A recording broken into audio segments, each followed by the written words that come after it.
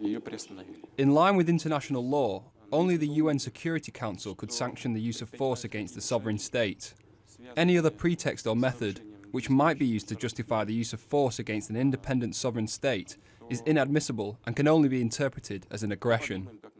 Yeah, but he's not ruling it out in general, uh, Katie Stallard, there in St. Petersburg. A bit of a softening of his attitude or not? How are you reading this?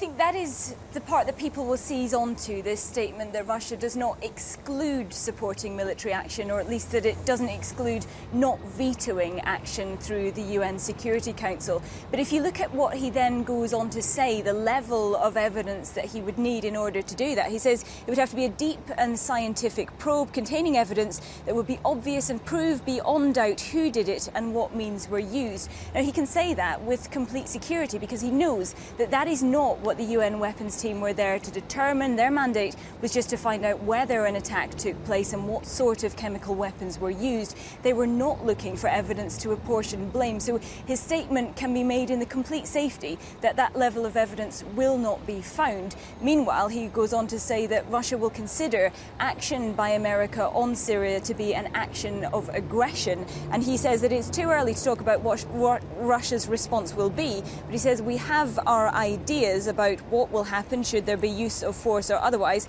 He says we have our plans.